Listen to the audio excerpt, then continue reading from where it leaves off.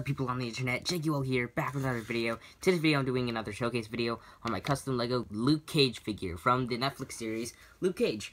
So, I decided to make Luke Cage finally. I know it's kind of outdated, um, but yeah, I decided to make him because I actually had a good concept to make this figure, and yeah, so let's just get started with the showcase video. Going to be a very short showcase because there's only one figure, but yeah, let's All get right, started. So here is Carl Luke, I mean Luke Cage.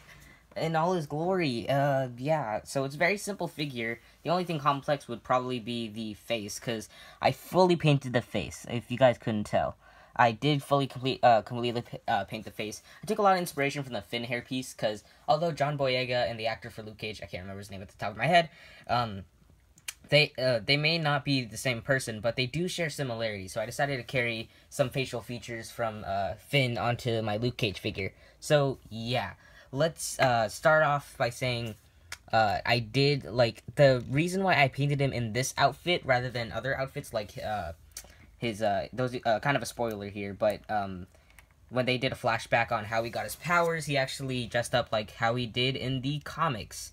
So yeah, basically, um, reason why I chose this suit is because uh, I because it has a little bit of yellow. Uh, it's the only suit he wear or uh, cost or outfit he wore. Sorry, can't think of words. Uh, outfit he wore in the entire series that had yellow in it. So that's one reason. Second reason is because I actually had a good idea for the hoodie, and um, that was to use a Wyldstyle hoodie. Uh, so yeah, first time I'm using the hoodie uh, for a figure.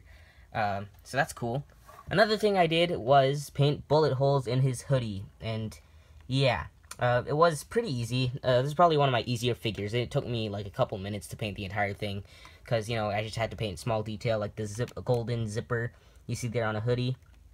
And yeah, that's pretty much it. All I did, the only thing I did uh, worth noting is that I painted uh, small pockets on his legs, and you could barely see, and also his shoes. That's pretty much it, though. So I'll give you guys one last 360 on my Luke Cage figure.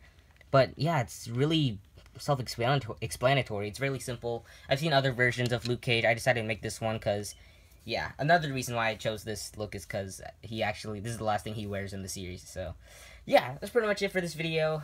And, yeah, let's just so much for watching. Hope you guys enjoyed this video. If you did, make sure to give this video a like. Also, subscribe to my channel if you have not. And if you want to keep up with me, make sure to follow me on my Instagram, Twitter, and Flickr. Links down in the description below. And, yeah overall, if you guys want to hear my thoughts real quick, uh, in terms of Netflix series, uh, between all the Marvel ones, I think Daredevil's my, probably my favorite. Then uh, it's Luke Cage, and then Jessica Jones. Uh, although Jessica Jones was a great representation of the character, I just um, not a big fan of Jessica Jones, the character. Um, but I do like the acting; it was all great.